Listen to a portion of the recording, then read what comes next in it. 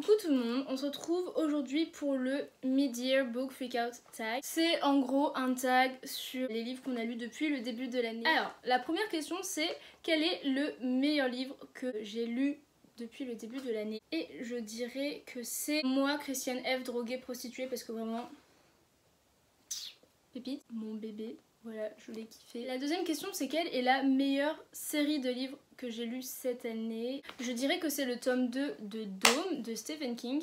J'ai hésité parce que j'ai commencé à lire Le Trône de Fer, mais j'ai lu que le premier tome et même si j'ai beaucoup aimé, pas trop dire que j'ai lu la série. Ensuite, on a quel livre qui est sorti récemment, je voudrais lire. Alors, du coup, il y a un roman graphique que j'aimerais bien lire qui s'appelle Flippette et Vénère, mais à cause du confinement, j'ai pas pu aller l'acheter. Et en général, je pense que je vais lire plus de romans graphiques cette année. La quatrième question, c'est quel livre qui va sortir j'attends le plus? Honnêtement, j'ai pas énormément de titres qui me viennent en tête de livres qui vont sortir cette année. Je dirais bah, le prochain livre de Stephen King, même si je sais pas ce que c'est, comme il en soit régulièrement, à chaque fois, j'attends impatiemment de voir ce qu'il nous réserve. La cinquième question, c'est quelle est ma pire déception de l'année? Alors ça c'est facile, c'est un livre que je n'ai pas sur moi justement. C'est l'ultime secret de Bernard Werber parce que bah c'était nul et j'ai détesté. Et j'étais sûre que j'allais adorer, enfin vraiment euh, je, me suis dit je vais kiffer et c'était nul. J'en parle plus dans ma vidéo sur mes lectures du mois de mai. La sixième question c'est quelle est ma plus grande surprise de l'année? Alors une de mes plus grandes surprises de l'année je dirais que c'est Minuit 2 de Stephen King. Je viens juste de finir, je l'ai fini littéralement hier soir. Je m'attendais vraiment pas à grand chose parce que j'avais décroché de Stephen King et après j'ai lu le tome de Dodo mais j'ai adoré.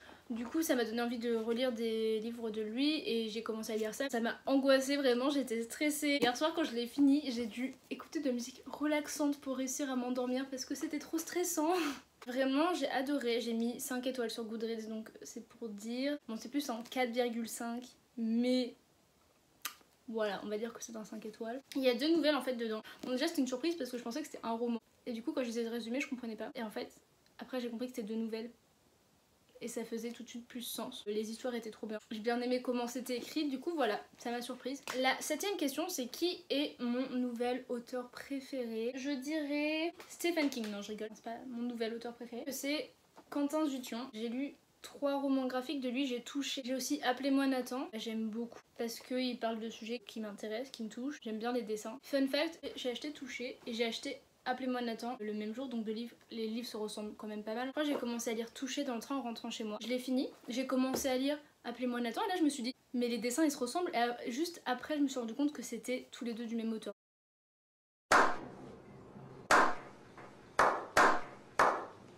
Et c'est bien parce qu'il parle d'un mec trans, il a pas été inventé lui en tant que personne cis, le vécu d'une personne trans, enfin c'est bien. Juste il relate en fait l'histoire du concerné et euh, touché ça parle de femmes qui sont faites agresser sexuellement et qui prennent en fait des leçons d'escrime dans le cadre de leur thérapie je crois. Et elles deviennent amies et ça parle de leur reconstruction et j'ai vraiment trouvé ça super bien écrit, j'ai trouvé ça touchant. C'était beau, les dessins sont beaux, j'ai envie de lire d'autres choses de lui. La huitième question c'est qui est mon nouveau crush fictionnel? C'est une bonne question. J'ai pas vraiment des crushs fictionnels. Enfin plus genre dans les séries et tout mais dans les livres c'est rare. Si je sais pour euh, mon cours de littérature anglophone, j'ai lu Orlando de Virginia Woolf et c'est en fait une biographie fictive d'une personne qui aurait vécu genre 300 ans, 400 ans, quelque chose comme ça, qui est un homme au début. À un moment dans le roman, il s'endort pendant une semaine, il se réveille et il a un corps de femme.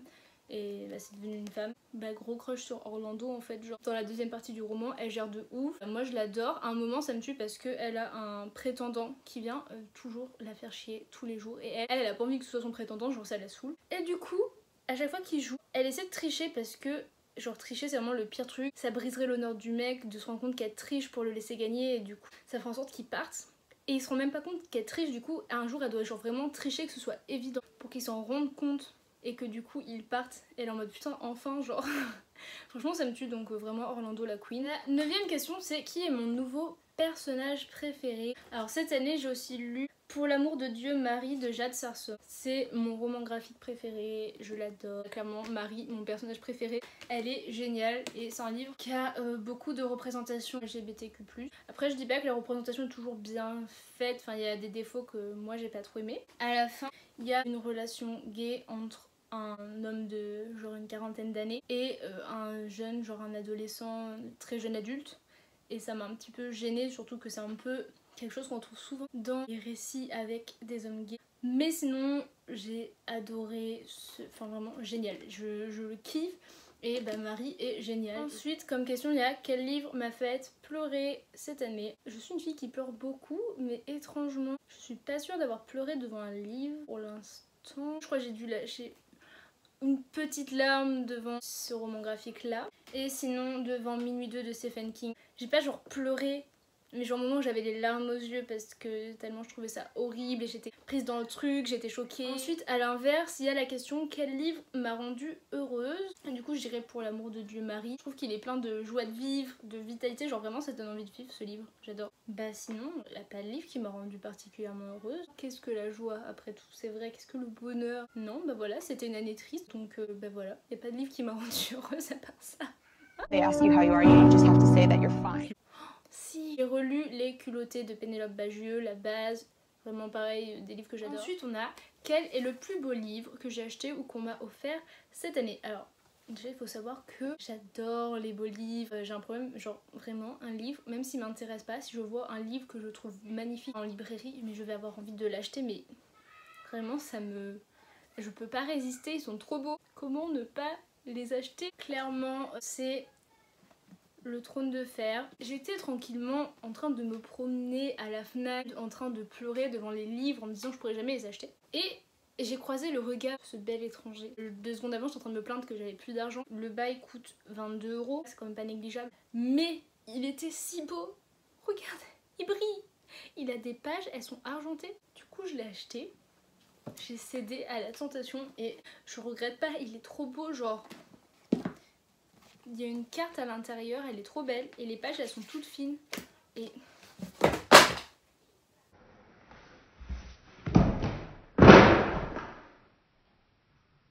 Et enfin, on a quels sont les livres que je veux absolument lire avant la fin de l'année. Alors, il y en a quelques-uns, mais honnêtement, j'en ai pas énormément là. Et je me dis qu'il va falloir que je rachète des livres. Déjà, il y a le portrait de Dorian Gray d'Oscar Wilde. C'est un classique. Comme je suis étudiante en lettres, bon voilà, j'ai un peu envie de le lire. Il a l'air cool. Ensuite, on en a trois de Stephen King. Déjà, j'ai Brume, donc lui, j'aimerais bien le lire ce mois-ci. C'est un recueil de nouvelles et j'adore les recueils de nouvelles de Stephen King. Je les préfère à ses romans. Le premier que j'avais lu, c'était Nuit noire, étoile morte. Et je devais avoir 12-13 ans quand ma mère me l'a acheté. Depuis, je n'ai jamais arrêté de lire du Stephen King. Vraiment, j'ai trouvé ça horrible j'ai trouvé que c'était le truc le plus atroce que j'avais jamais lu et j'ai adoré.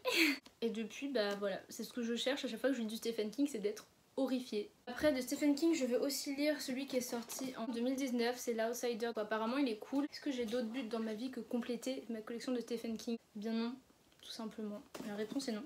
Oui, aussi j'ai Anatomie de l'horreur. C'est pas de la fiction cette fois. C'est un livre dans lequel Stephen King explique comment on, il écrit ses romans d'horreur, où il analyse comment écrire de l'horreur. Bah déjà j'adore ces nouvelles d'horreur, enfin c'est ce que je préfère, donc ça m'intéresse. Et J'aimerais bien écrire un livre un jour, comme toute étudiante en lettres, j'ai envie de dire, enfin vraiment, est-ce qu'il y a plus cliché?